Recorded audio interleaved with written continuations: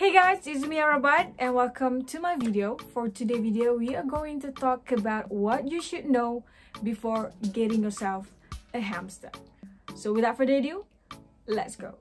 So first thing first, before we go deeper, you need to know what type of hamster you want to get, okay? We got Syrian hamster, winter white, Campbell, we got Robo hamster and Chinese hamster. And each of them got their own characteristic, got their own pattern and also comes with different size.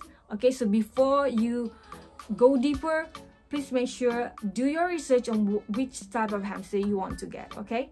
So the next step is getting a cage for them, all right? Like I said before, every hamster comes with different characteristic, different size, all right? So after you've done your research on which type of hamster you want to buy, it will help you to find the suitable cage for your hamster. And take notes that female hamster and male hamster cannot be put together or else they will fight and mating with each other. So you might want to think about it first before getting both because if you buy both, that means you need to buy extra cage. And that means it will cost you a lot of money.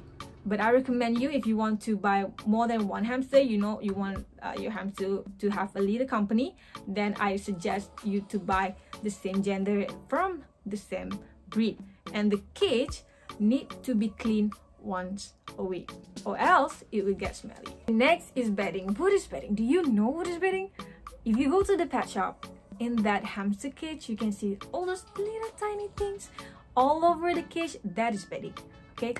Hamster love cozy place and it is our job to make them comfortable with the place because if, if not, they will get sick and they will get stressed we don't want that to happen to them. And bedding come with different type of bedding. It got colorful beddings. It got uh, basic bedding. So it's up to you. It's up to your preference which type of bedding you want. If you don't know which type you want to buy you can ask the storekeeper and ask them what is the most suitable bedding for your hamster. Okay?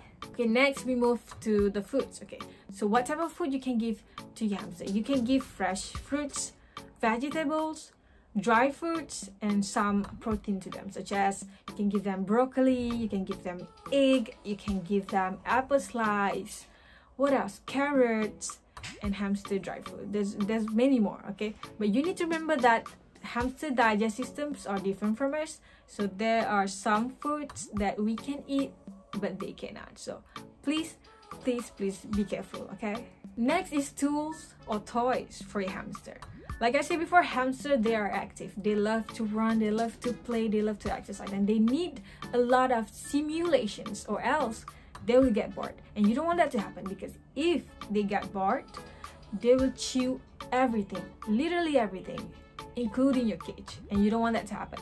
So some stuff, toy that you can buy for them is wheels, you can buy them balls, the one they can run in it, you can also buy them chew sticks so that they can bite it instead of biting the cage okay? So yeah please buy toys for your hamster okay?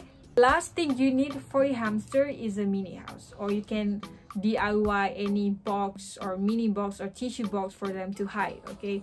They will appreciate it if you give them a private getaway place for them to sleep or to hide. And by the way they really love to sleep. Okay they sleep during the day and active during the night. So you don't have to like worry about it. If you see all your hamster do is sleeping. That is how they are. And i think that's all. That's the end of this video. That's all you need to know. That's all you need to have before getting yourself one okay? So i hope everything going well to you. I hope you can meet your new buddy as soon as possible.